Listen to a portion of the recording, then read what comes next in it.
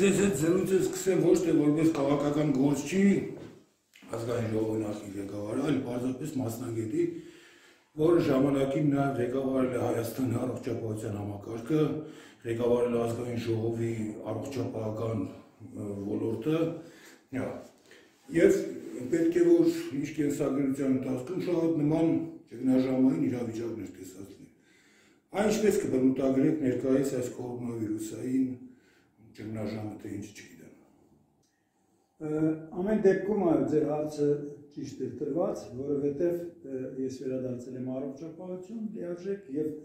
քաղաքականությունով չեմ զբաղվում, չի նշանակում, որ որպես քաղաքացի ինչի է տարքրում ամբողջ նիստուկացը եւ շարժը այն ինչ որ տեղի անում Հայաստանում եւ Արցախում, միանշանակ շատ ակտիվ հետևում եմ եւ ինձ այդ ամենը շատ հետաքրում է եւ ես դրա մեջ եմ ապրում, ասած, բայց ես լիարժեք վերադարձել եմ առողջապահություն եւ անելիքները այնքան շատ են նամանավանդ այս օրերին, որ նույնիսկ անիմաստ է այս պահին որոցի մի քաղաքական հարցերի շուրջ քննարկումները գոնե իմ համար։ Ես կարծում եմ, որ բոլոր քաղաքական ուժերը եւ բոլոր տարբեր տեսակետներ ունեցող եւ քաղաքական ուժերը եւ կազմակերպությունները եւ մարդիկ այսօր պետքա մի ուղղությամբ նայեն եւ մի ուղղությամբ գործեն ինչպես կարելի է փրկել երկիրը, փրկել ժողովրդին փոքր կորուստներով դուրս գալ այս իրավիճակից։ Ցավոք պետք է ասեմ փոքր կորուստներով, որովհետև մենք տեսնում ենք, որ մենք ունենք արդեն կորուստներ։ Բայց որպեսզի մենք կարողանանք ճիշտ պատկերացնենք իրավիճակը, ես որոշ տալ, այսպես ասած, տվյալներ եմ պատրաստել, որպեսզի ձեզ ներկայացնեմ, եւ երբ որ ասում են օրինակ, ասենք, այսօր առաջատարը դարավ Միացյալ Նահանգները, բայց երբ որ մենք նայում ենք գուցե եւ այսպես բացարձակ թվով Միացյալ Նահանգները դարձան 215.000-ից մի քիչ ավել հիվանդ ունեցողներ, վիրուսակիր հիվանդներ, բայց չմոռանանք, որ այդ երկիրը 331 միլիոնանոց պետություն է եւ նրա այսօրվա նոր մեկ օրվա 354 դեպքը տալիս է ընդհանրապես ընդհանրենը այնքան մի փոփոխություն, որ այս պահին, ասենք, եթե 1 միլիոն բնակչի վրա մենք հաշվարկենք, ապա 651 մարդ է հիվանդացած բայց դրա կողքը մենք ունենք ուրիշ ցուցանիշներ, օրինակ Իտալիայի նման երկիրը, որը մի փոքր ավել քան 60 միլիոն բնակչություն ունի, տեսեք նա արդեն 110 դեպք ունի, ավել մի քիչ 110 հազարից ավել դեպք ունի գրանցված եւ Իտալիան այս պահին 1 միլիոնին ունի 1829 հիվանդ, նշանակում է ամեն 546 մարդուց մեկը այնտեղ արդեն հիվանդացած է։ Ավելի վատ է վիճակը Իսպանիայում, որտեղ որ 1 միլիոնին 2358 մարդ է հիվանդացած, այսինքն այնտեղ արդեն որ մենք նայում ենք ըստ իր բնակչության, որ 47 միլիոն է, ամեն մի 424 մարդուն մեկը կա։ Այսինքն որպես մենք պատկերացնենք, ասենք նույն ասենք Պարսկաստանը կամ մյուսը մյուսը այնտեղ անկախ նրանից որ ինչքան էլ առողջապահական համակարգը Պարսկաստանի օրինակ զիջում է եվրոպական առողջապահական համակարգին մենք տեսնում ենք որ ընդամենը 600 հիվանդ կամ 1 միլիոն բնակչին չնայած մենք բոլորս այսպես շատ մտահոգ էինք որովհետև Պարսկաստանում իսկապես մահացու դեպքերը բավականին շատ էին, մահացություն կար եւ հարևան երկիր էր, դա մի կողմից որպես բարեկամ երկիր, մյուս կողմից որպես հարևան երկիր մեզ շատ մտահոգում է, բայց ամեն դեպքում մեզ մտահոգում է ամբողջ աշխարհը եւ այդ հարցում մենք բարեկամ ոչ բարեկամ չունենք, որովհետեւ մարդկությունը դա գլոբալ առումով հիմա մի այսպես ասած խնդրեմ է խնդրեմ ունի, որը պետք է համատեղ լուծվի, որովհետեւ որեցը երկրում սրա չլուծելու պարագայում միևնույն է այսպես վտանգը միշտ բնում է նրան, որ պետք է երկրները իրենք մեկը մեկից անջատված լինեն, այսպես ասած սահմանափակ լինի հաղորդակցությունը Վերջը ամեն ինչ մեկ երկրից սկսեց։ Այո, այո, այո, բայց հիմա այդ երկրից սկսեց, բայց ես ձեզ ասեմ, որ Չինաստանում ընդամենը 35 նոր դեպք է գրանցվել մի երկիր, որտեղ միլիարդ 400 միլիոնից ավել բնակչություն կա եւ Չինաստանի ցուցանիշը ես ձեզ հիմա ասեմ Չինաստանը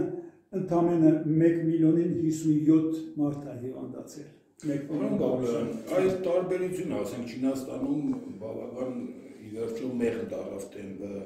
Իտալիայում շատ բարձր է եւ մահացությունն էլ է շատ բարձր, Ամերիկայում համեմատաբար ոչ որ միջին ցուցանիշ է, ասիական երկրներում շատ ավելի պակաս, թեև այնտեղի բժշկությունը ամերիկյան բժշկության հետ ոչ մի համահայության մեջ իհարկե չի գտնվի։ Այդ տարբերությունը որպես մասնագետ ինչով կբացատրեք։ Նույն մարդն ենք, չէ՞, նույն օրգանիզմը։ Այո, շատ ճիշտ հարց եք տալիս, դրա համար ես հիմա որոշ պես օրինակներ կբերեմ ձեզ։ Տեսեք, մենք ունենք երկրներ, որոնք որ նո կապիտալիստական երկրներ են, բայց բարձրագույն սոցիալիզմի հասած։ Իսկն սոցիալական ապահովություններն ու երաշխիքները շատ բարձր են։ Օրինակ դա Շվեդիան է, Նորվեգիան է, եւ եթե դուք տեսնեք, այնտեղ 1 միլիոն բնակչությանը արդեն 490 հիվանդ կա, այսինքն այդ երկրներում նույնպես բավականի լուրջ խնդիրներ կան։ Միջև ձեր հարցի պատասխանելը ես ուղղակի հայաստանյան տվյալներն եմ վերեմ, որ մենք այսօր այս պահին ունենք 663 հիվանդ, այսինքն գրանցվել է 92 նոր հիվանդներ, եւ հաստորեն մեզ մոտ 1 միլիոն բնակչին 224-ը օգտությունից չի հիվանդ է։ Գիտեք, ձեր հարցին պատասխանեմ եւ ձեր այսպես դիտարկումը, որ դուք ասացիք փոքր է ցուցանիշը, այս ամենը շատ հարաբերական է։ Ինչու, որովհետեւ չեմ կարծում, որ միայն առողջապահության համակարգի կամ նրան կազմակերպվածության հետ կապված խնդիր կա, չնայած միանշանակ է, որ շատ շատերն ասում են, այ եթե սովետական առողջապահությունը լիներ, այն ժամանակվա համակարգը շատ հստակ կառավարեր, իրականում այն ժամանակվա սանիտիպիտ ծառայությունը շատ խիստ էր եւ շատ արագ արձագանքում էր, բայց չեմ ասի, որ Եթե Ամերիկայի Միացյալ Նահանգների նման երկիրը շատ լավ բժշկություն ունի, ապա գուցե եւ առողջապահական համակարգը զիքի մեր խոսքի օրինակ տողներենից ասենք շվեդականին կամ նորվեգականին, որտեղ որ շատ ավելի սոցիալական ապահովություն կա եւ ամեն մարդ կարող է անվճար դիմել իր ընտանեկան բժշկի եւ որից մի հիվանդանոց։ Բայց դուք տեսնում եք, որ խնդիրը ուզում եմ ճիշտ հասկանալ, որ Առողջապահությունը կարող է անել ամեն ինչ, բայց չհասնել իր արդյունքներին։ Որովհետև չէ որ ամբողջ այն համակարգը, որ պետք է աշխատի, այն այն կարգ ու կանոնը, որ պետք է պահպանվի, որ մենք այսօր պես պահին կարոզում ենք,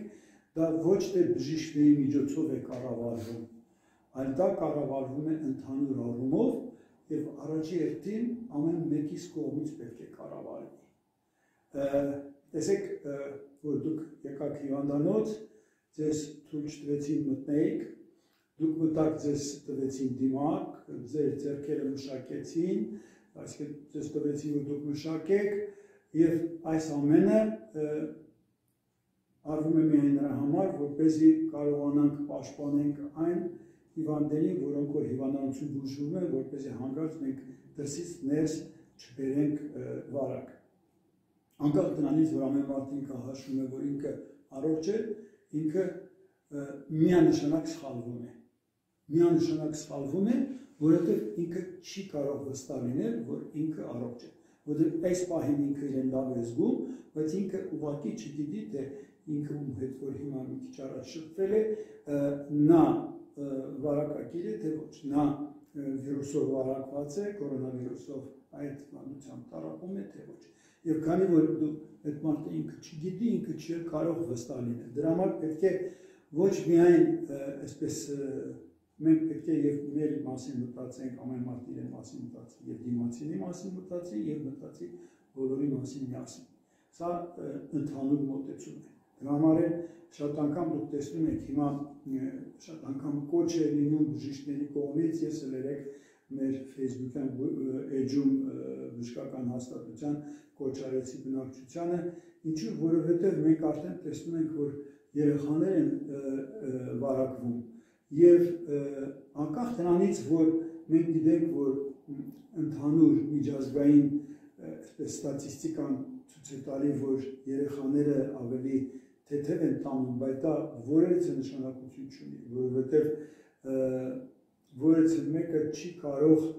կանխա գուշակել, թե այս կամ այն երեխան ինչպես կտանի այդ հիվանդությունը։ Շատ ավելի ճիշտ է, որպեսզի մենք կարողանանք կանխարգելենք այդ երեխաներին Եվ իհարկե մենք մանկական հիվանդանոցներս ձգտում ենք որպեսզի քանի որ շատ երեխաներ են գալիս եւ ցերեկը եւ գիշերը սուր հիվանդությունները, որտեղ պլանային հիվանդությունները բոլորը հանված են, բոլոր բուժումները պլանային, այսպես ասած, հետաձգված են, բայց արդեն եթե սրանից մեկ ամիս առաջ մենք կարող էինք ինչ որ ձևով, այսպես կոչված էպիդեմիոլոգիական կանխագուշակում անենք, թե ինքը վտանգավոր է, թե չէ իրեն այս բարձր ջերմությամբ եւ հազով եկած, ասենք, երեխան, որովհետեւ եթե ասենք վերադարձել է ընտանիքը Իտալիայից կամ Իրանից կամ այն երկրներից, որտեղ որ տարածված էր հիվանդությունը, այս պահին արդեն այդ ցուցանիշը դուրս է եկել։ Այս պահին, քանի որ մենք գիտենք, որ 1 միլիոնին 200 մարդ ունենք վարակված, այդ նշանակում է մենք գիտենք, որ դրանք արդեն բազմաթիվ մարդկանց այսպես կոնտակտի մեջ են եղել եւ ինչքանն էլ որ մենք դեռ չգիտենք, որ նրանք կոնտակտի մեջ են եղել։ Այսինքն պահը կորցրել ու մեկացել։ Ես չի ասի, որ պահը կորցրել էինք, որովհետեւ տեսեք այն այն պահ, երբ որ մենք սկսել ենք, մենք ունեցել ենք շատ փոքր ցուցանիշ։ Եվ չէր ուզենա, որպեսի բնակչությունը մեղվեր, որ ես ուզում եմ մեղադրեմ մեր քաղաքացիների, բայց մեր քաղաքացիները իրանք մի փոքր ճիշտ չեն գնահատում իրավիճակը։ Չեմ ուզում նորից քաղաքական որևէ մի կողմին անդրադառնալ Արետարտունը պարետը լավ ասեց, լավ արտահայտվեց, վարչապետը ոնց ասեց, ոնց արտահայտվեց, թե նախարարը ինչպես բացատրեց։ Աբսոլյուտն է բացառապես դրանք այս պահին որից նշանակություն չպետք է ունենան։ Ընդհակառակ, եթե ինչ որ մի բան ճիշտ ասվեց,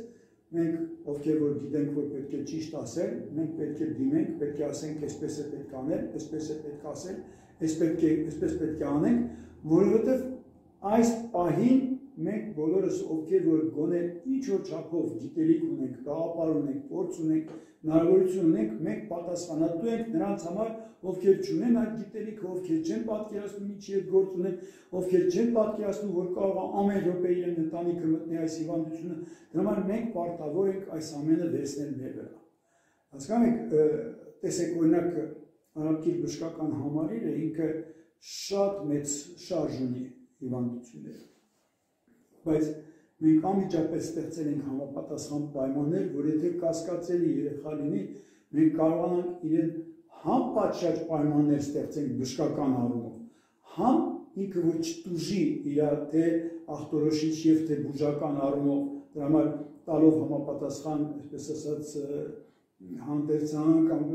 պաշտպանված միջոցներ բուժանձնակազմին, որ կարողանան աշխատել այդ երեխաների հետ, ովքեր որ դեռ կասկածելի են։ Համեր կարողանանք կանխարգելենք, որ մյուս երեխաները, չէ՞ որ եթե մի հատ երեխա այդպեսի եկավ, դրանից բացի մի 20-30 ուրիշ երեխա է գալի այլ հիվանդություններով, որ պետք է չկարողան իրենք չշփվեն։ Դրա համար լրիվ առանձին մուտքերով, լրիվ առանձին սպասարկումներով եւ եթե հաստատվում է, պետք է անմիջապես տեղափոխվի արդեն այն բժշկական հաստատությունը, որտեղ որ դա կենտրոնացված են, որ เป զի հիվանդությունը չտարածվի այդտեղ։ Դրա համար հիմնական գաղափարը սա է։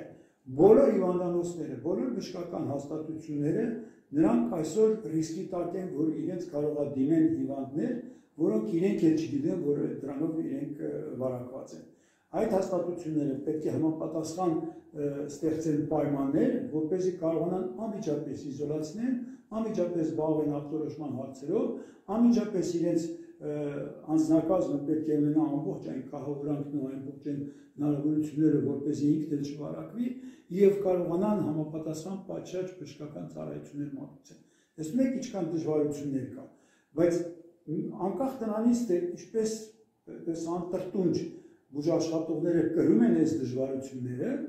բայց միևնույն ժամանակ պետք է իմանանք, որ սա չի կարող անսահմանափակ լինել Սա պետք է կարողանանք բոլորս միասին մասնակցենք process-ին, որպեսզի կարողանանք այս process-ի դեմն առնենք։ Հասկացեք, որովհետև տեսեք, այս պահին կարող են ասեն լավագույն դեղերն ենք գտել, բայց մենք լավ գիտենք, որ կան դեղեր, որոնք ինչ որ չափով ազդում են, բայց դեռ չկան այն դեղերը, որոնք վերջնական ասեն այս դեղը կտաս ու վերջնական արդեն խնդիր չունես։ Գիտենք, որ փնտրում են վակցինացիան, որ վակցինա կարողանան գտնել, որ վակցինացիա անեն, կանխարգել են, բայց միևնույնն է դեռ սրան երկար ճանապարհ է պետք անցնել։ Դրա համար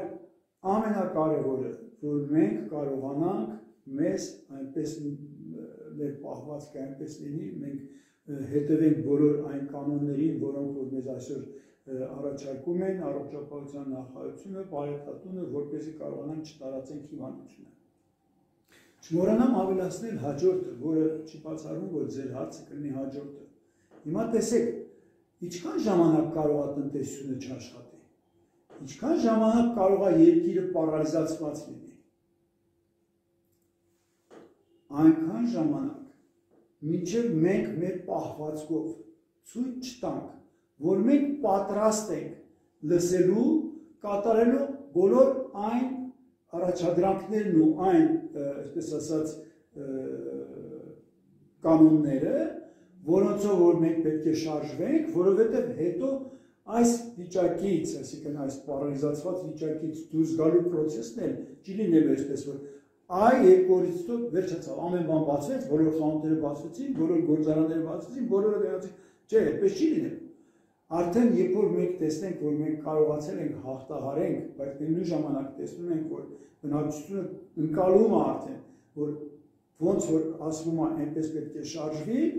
այդ ժամանակ արդեն պետք է կամած-կամած սկսվի կազմակերպել եւ պետք է արդեն մտածել նոր ձևերը աշխատանքի։ Տեսեք, օրինակ, Արաբի բժշկական համալիրը մենք ունենք մոտ 800-ին մոտիկ արդեն աշխատակազմ։ Եվ այսօր մեզ մոտ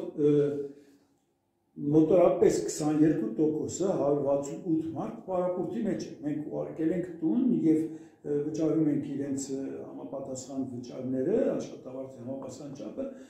որովհետեւ նրանք պարապորտի մեջ են, որովհետեւ նրանք ընդհանրապես այս պահին չեն կարող աշխատել, որովհետեւ պլանային այդ աշխատանքը չկա։ Մոտորապես 25 մարդ աշխատում է հերահար, այսինքն տնից է աշխատում։ Բայց Տեսեք, մի մեծ տոկոս 74% աշխատակիցներ Արաբկիրում աշխատում են հիվանդանոցում, ինչու, որովհետև դու չես կարող մարդուն բուժես հերահարես պահին։ Դա համար, բայց այս մարդիկ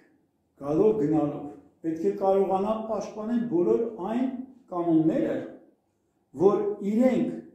գնալով գալով չվարակվել, իրեն ընտանիքը, որտեղ ինքը վերադառնում է կանոնները պահպանի, որ չվարակի այս աշխատողի,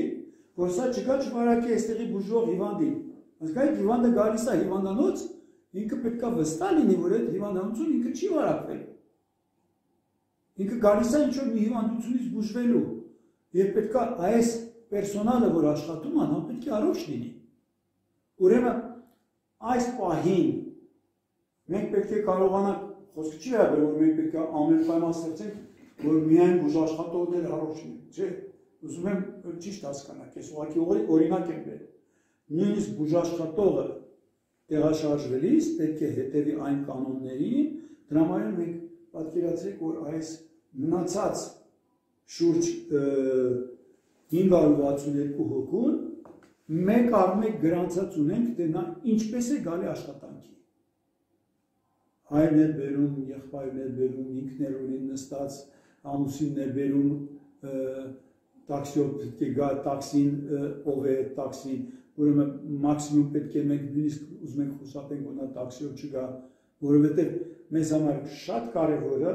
որ մեր անձնակազմը լինի առողջ Պարոն Բաբլյան, տեսեք,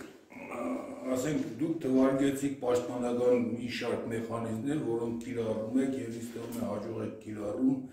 եւ պետք է որ այդ մեխանիզմները նույն կարգի նույն մոդեցում մեխանիզմները դուք կիրառեք նաեւ այն ժամանակ, երբ որ նախարարի պաշտոնում եք երկրի մասշտաբով արդեն։ Հա եւ եթե հանկարծ նորից առիթ լինի զբաղեցնելուն առողջապահության նախարարի պաշտոնը, երևի նորից նույն մեխանիզմներով առաջնորդվեք։ Բայց եթե ես այն ինչ որ բացատրեցի որպես ոչ մասնագետ ընկալում եմ, Հիմի նայում եմ մի շարք քայլեր չեմ կարող պարզապես ընկալեմ, որ ենթարկվեմ։ Օրինակ, երբ ինձնից հարցնում են, ասում են թուղթ գրի, որ այս ժամին որտեղ ես, հա, իմաստը կարամ հասկանամ, եթե massայական այդ թուղթը մարդկանց մոտ ստուգեն ինչ որ բանի համար օգտագործում են, բայց եթե ստուգում են 1000 մարդուց մեկին կա, չկա եւ բռնտուկ անում են, չեմ հասկանում։ Այսինքն ընդհանուր խաղի կանոնները, որոնք հաստատվում է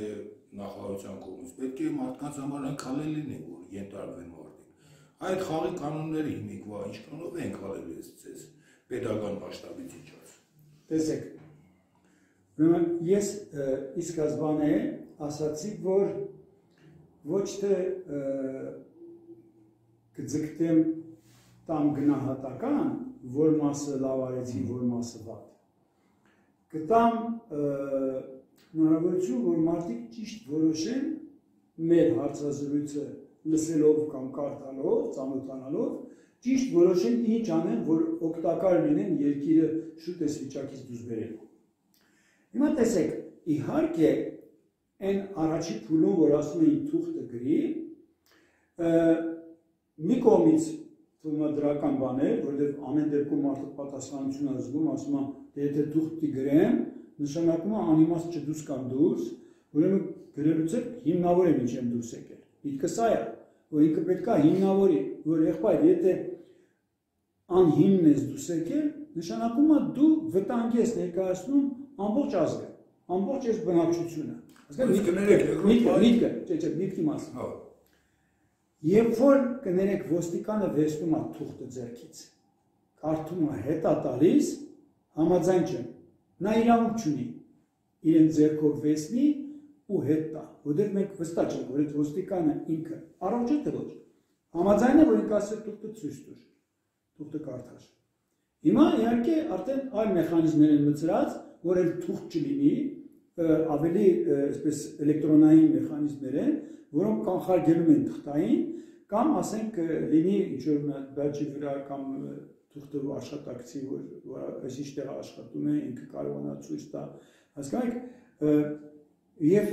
չպետք է մարդու ձեռքից այլ վեստեն, որովհետեւ ամեն մի շփումը դա վտանգ է։ Դա ես հիմա նշում եմ ոչ թե վատ բանով, որ դիտողություն է, որ սովոր են, որ իմանան, որ իրանք իրանք չունեն այդ թուղթը վեստեն։ Որովհետեւ այդ թղթի միջոցով հենց կարող ենք տարածենք նույն վիրուսը։ Համ իրեն համար է վտանգավոր, նայեք, այդ ոստիկանը քանի մարդու հետ կհանդիպեր փողոցում։ Ու ինքը չգիտի այդ մարդը առողջ է թե ոչ։ Դուք թեգուզեր ձեռնոցներով։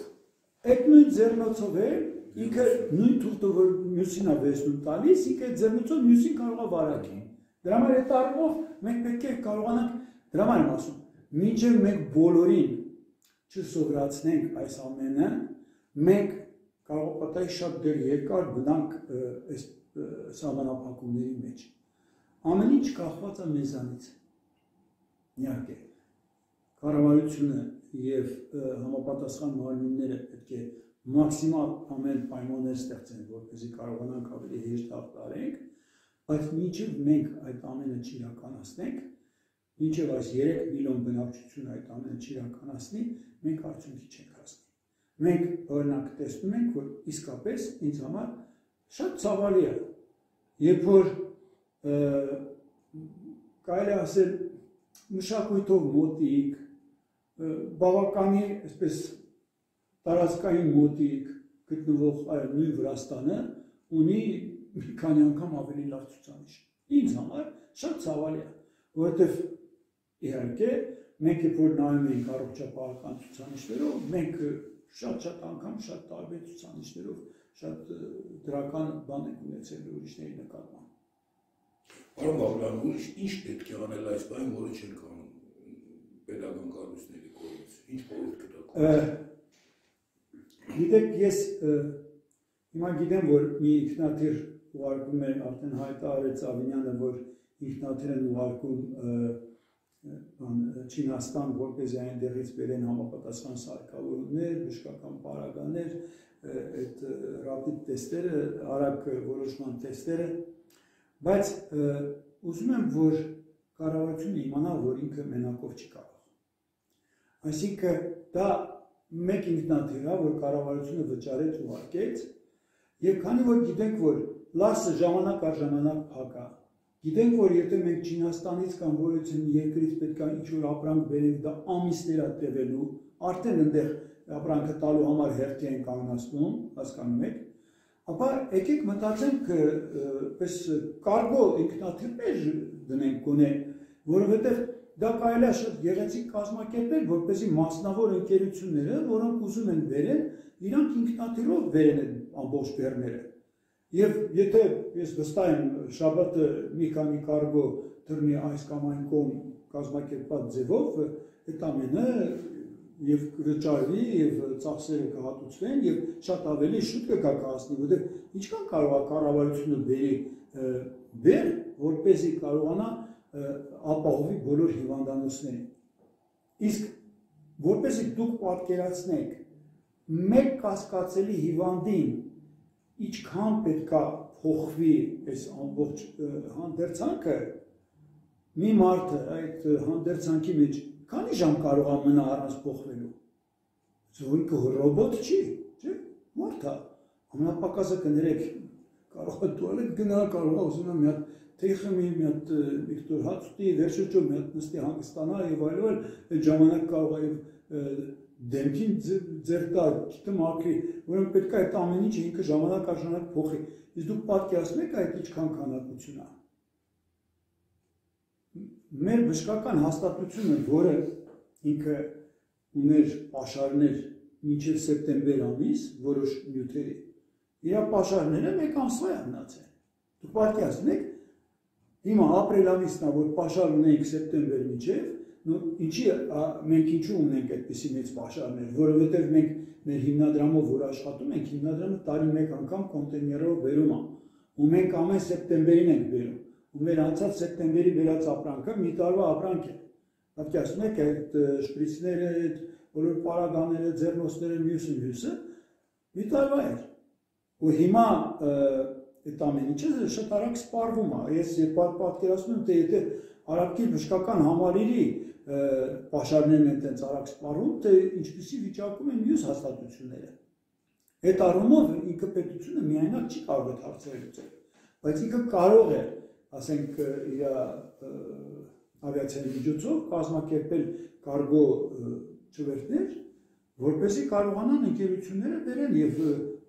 Բոլորն լավ գիտեն, թե ինչ ընկերություններ կան եւ պետք է ուղղակի արագ-արագ այդ հաշվարկը անել։ Ես կարծում եմ,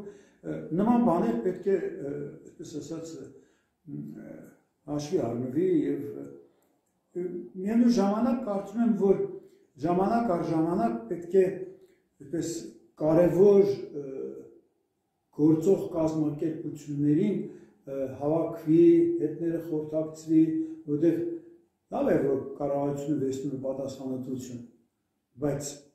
մի մարդը չի կարող ամեն ինչ ճիշտ անել։ Պետք է կանչել հրավիրել կազմակերպություններ, որոնք ունեն փորձառությունները, փորձը ունեն, գիտելիքներ ունեն, լսել, լավագույնը ընտրել եւ դա իրականացնել։ Ես դա ասում եմ նորից ոչ թե ասենք այպես քննադատելով, որ լավ են անում, թե լավ չեն անում, ամեն դեպքում միշտ կոչ եմ արել, հետևեք ինչ է առաջարկում առողջապահության նախարարը, ինչ է առաջարկում նախարարությունը, ինչ է առաջարկում պարետը, պարետատունը, կարգ ու կանոնը հետևեք, եթե ինչ-որ մի բան գտնում եք ճիշտ չի, ավելի լավ գրեք, առաջարկեք, մի այսպես խուսափեք մտեք այդպես նույնիսկ բանի մեջ, վեճի մեջ բացատրելու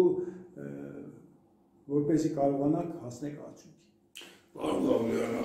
այ որ ասում ես նախկինների նախկին փորձը օգտագործում է, նախկին մենք համաճարակային նման փորձել ենք ունեցել։ Մենք ի վերջո տեսել ենք խոզի գրիպ ասված է, թշնի գրիպ ասված է, իսկ խոզի գրիպի ժամանակ վիճակագրություն էին օրինակ անցյալի նախարարը 16 թվականի հունվարի համար ներկայացնում էր, ասենք, մոտ 1000-ի կարգի հիվանդ, մոտ 20-ի կարգի մահացած, բայց այդ պայմաններում, այսինքն ավելի ծանր էր։ Այս աժիոտաժը չկար ինչ որ հիմա։ Այս կորոնավիրուսն ավելի արտարոս կան հաշնեք են մեկը, թե ինչ, ինչու է այս ձև։ Իրականում ինքը արտարոց է, որովհետև եթե դուք այնպես որ ես ձեզ բերեցի ցուցանիշները, դեռ չեն կարողացել մինչև վերջ բացատրեն, թե ինչու ասենք Իտալիայում 110.000 դեպքից մահացել են 10.000-ը։ Իսկ ուզե դեպքերի թիվն է քիչ նշվում։ Չէ, տեսեք։ Գաղտնի հիվանդները չեն արձանագրել։ Գրեթե 10% է անում։ Մենք գիտենք, որ ցուցանիշները, որ ուսումնասիրում էինք, ասենք Չինաստանի փորձը, որ անցավ մի անգամ այս ամեն ինչի ինչուց հետո մենք նայում ենք ընդհանուր թվերը, մենք տեսնում ենք, որ դա կարող է տատանվել 2.5-ից 4%, ասենք 4.5%, բայց մենք ունենք երկրներ, որտեղ բավականին բարձր են ցուցանիշները։ Մենք ունենք Իսպանիա, մենք ունենք Իտալիա, որտեղ որ ներողություն ես այդ Իսպանիայի ցուցանիշը դերեցի 110.000-ի 10000 110000 դեպք, իսկ Իտալիային էլ ավելի բարձր է։ Այնտեղ 110000 դեպքից 13055 մահացություն կա։ Հասկանիք, այսինքն բայց դրա կողքը այս պահին սարեղ ծանր վիճակում գտնվող Իրանը, որը Պարսկաստանը, որը այսպես ասած պատժամիջոցների ֆոնի վրա, որ մենք լավ ենք գիտակցում, որ ինքը իհարկե շատ ավելի աղքատ վիճակում ով ավելի սահմանափակ հնարավորություններ ունի, բայց իրեն մոտ մահացության թիվը ամեն դեպքում բարձր է, բայց մենք տեսնում ենք, որ իր 1 միլիոնի մեջ 600 ժուկի է հիմնադացել։ Չնայած առողջապահության համակարգը իր դուժում բանա զիջումա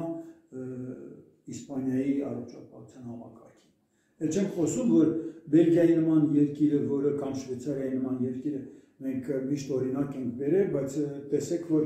ամեն 500-րդը հիվանդ է Շվեյցարիայում։ 500 մարդուց մեկը հիվանդացել է կորոնավիրուսով։ Բայց դրա կողքը անկախ դրանից որ 500-ից մեկը հիվանդացել է, իրանք ընդամենը 58 դեպք մահացան։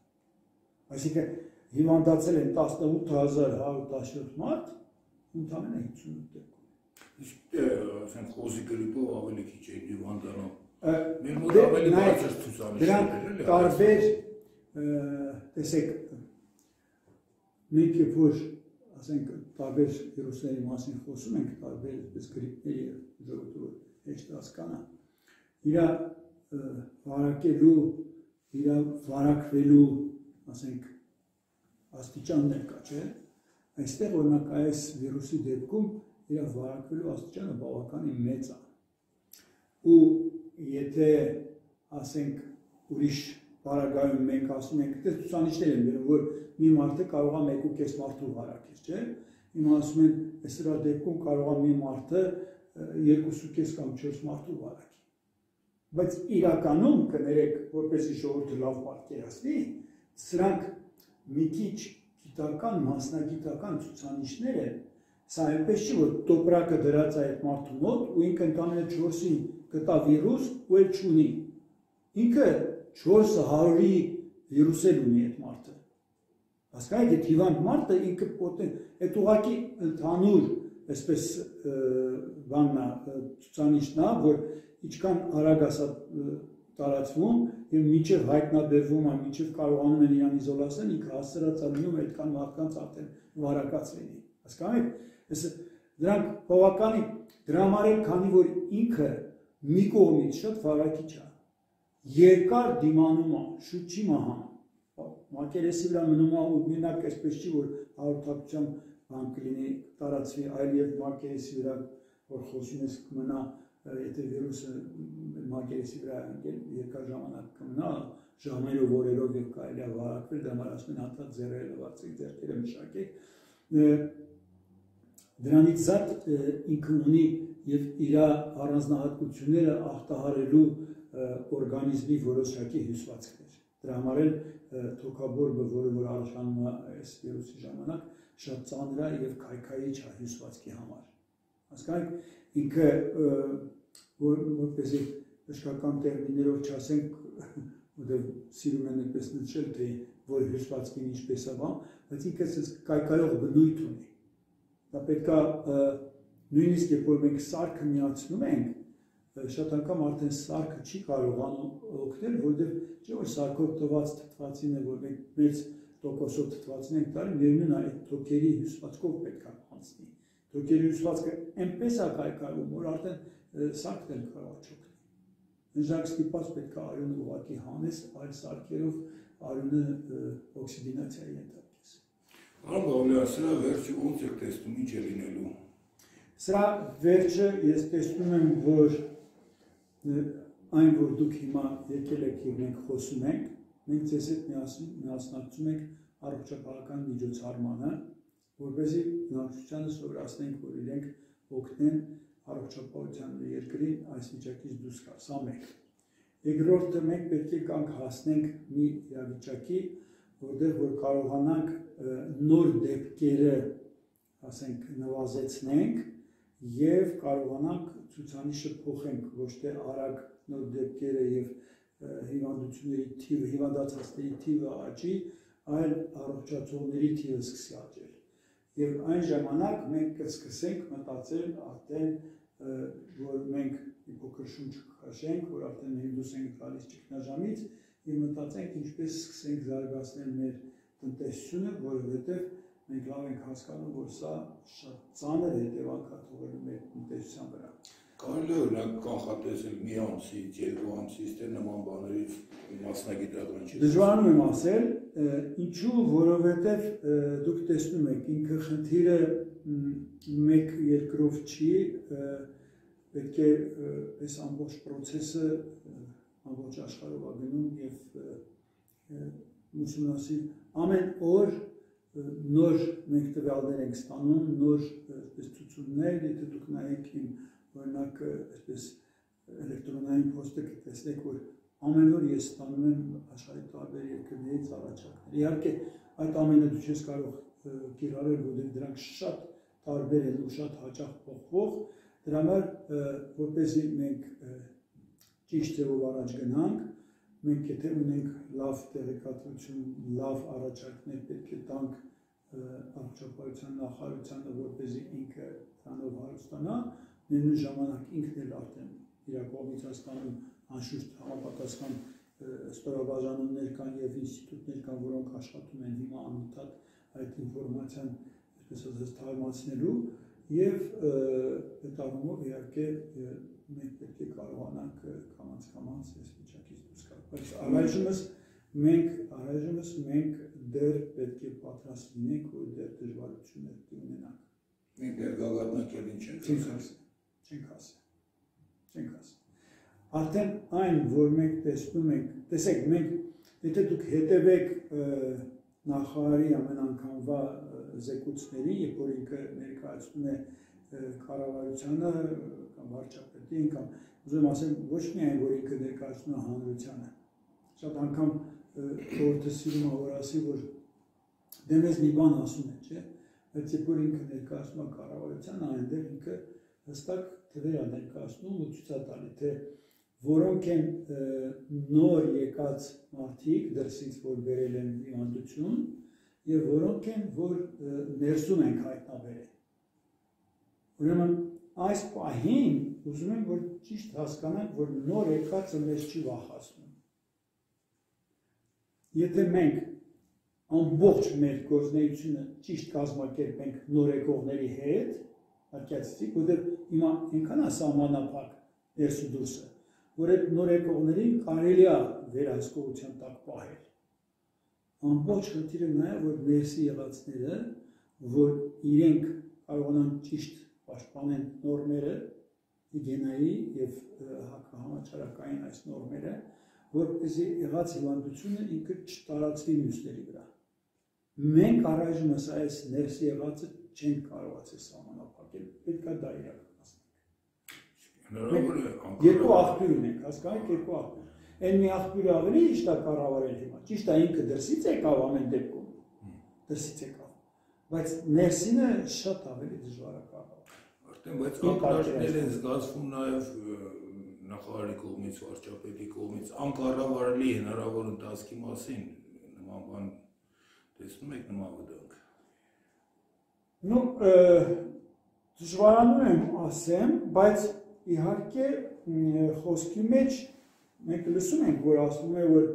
կարող այնքան շատ լինեն դեպքերը, որ մենք կարող պատահի հիվանդանոցները չերիքեն, ցենց, բայց ամեն դեպքում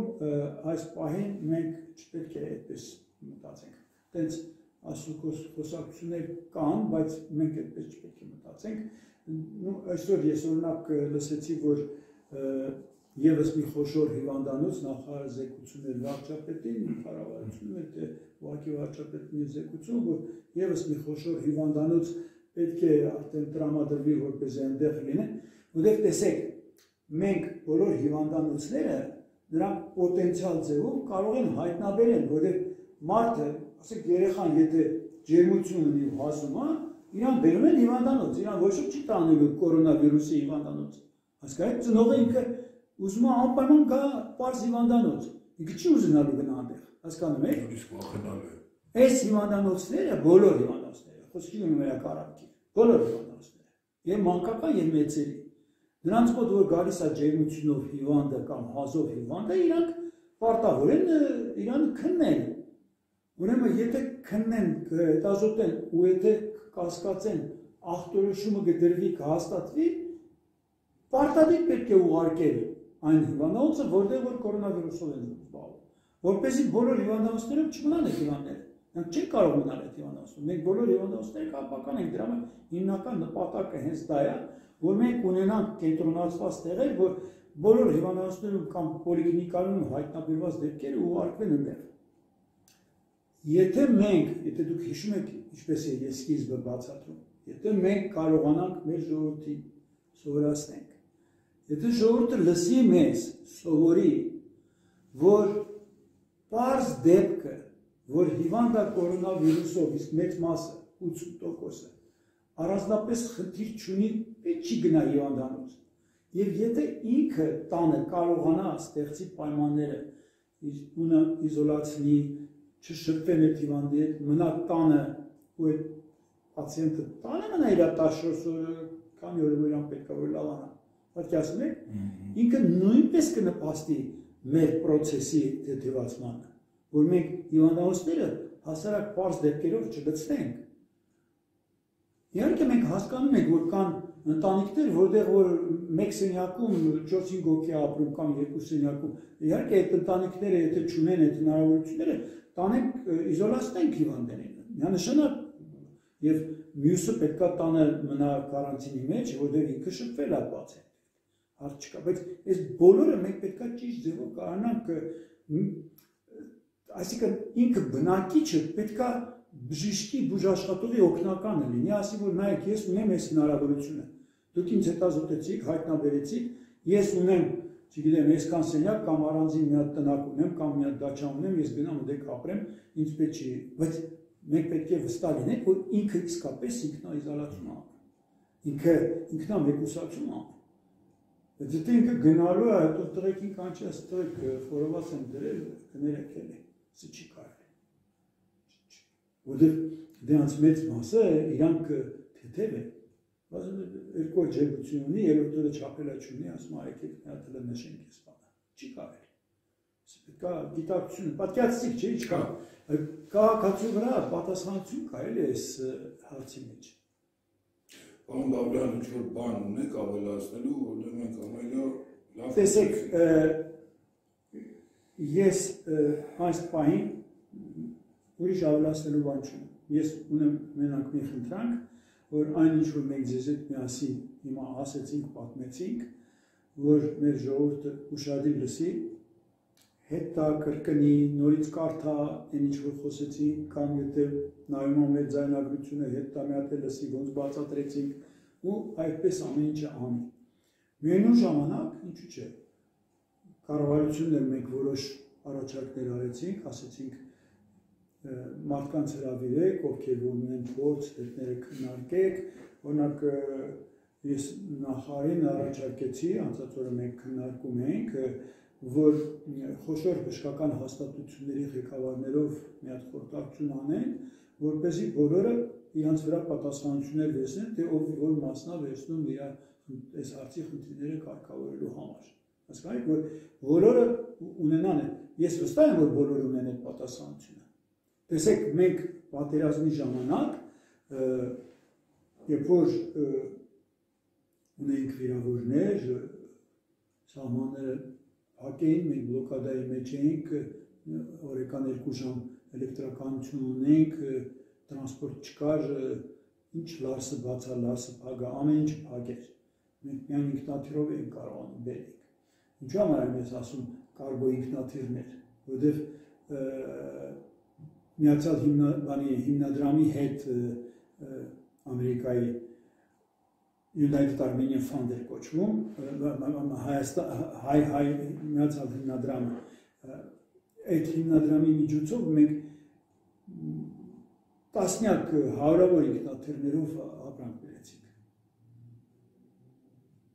Միացյալ Նահանգներից։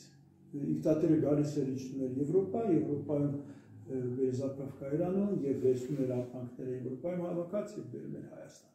Ու այդ ժամանակ մենք օրինակ հոսպիտալները չբացեցինք Երևանում։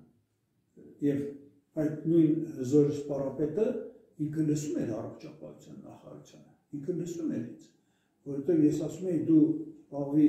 բանակով, դու զբաղվի քո այն հոսպիտալներով, որոնք որ առաջնակցին են մոտիկ, բայց Երևան քաղաքում արդեն դու ի վիճակի չես լինի, որովհետեւ մենք այդ ամենը կանենք։ Մենք զինվորական հոսպիտալը բացել ենք, երբ որ արդեն պատերազմը ավարտել ենք։ Հասկանեք, այդ բաներ կան, որոնք որ առողջապահությունը հիմա թելադրողը լինի, այո, առողջապահությունը հիմա թելադրողն է։ Երբ որ ես մեկ-մեկ հետևում եմ, ասենք, կառավարության նիստերին, հիմա մեծ տպավորությունն է, որ առողջապահությունը բացատրում է, որ ինքը պետք է թելադրող լինի, շատ նախարարություններ ոնց ու լավ չեն հասկանում։ Իսկ հիմա բոլորը պետք է աշխատեն առողջապահության, այսպես ասած, առաջարկություններ ու ցուցումներ անեն։ Հասկանում եք, այսինքն բոլորը պետք է նպաստեն, որովհետև եթե մենք այս հարցը չկարգավորենք, սա արդեն ինքը առողջապահական չէ։ Ինքը ազգի երկրի անվտանգության խնդիրը կամնաց։ Սա պետք է լավ հասկանանք։ Սա խնդիրը։ Դրա համար ես ուզում եմ, որ անկախ նրանից թե նախարարը ոնց կասի, որ տոնով կասի, աբսոլյուտն այսօր մոռացեք։ Պետք է առողջապահության նախարարի առաջադրանքները նախ կառավարությունը միանշանակ ընդունի որպես դիրեկտիվաներ, ու ինքը նստի մշակի, ինչպես աներ, ոնց աներ, որ ապահովել այդ ամենը։ Այսքանը։ Շնորհակալություն։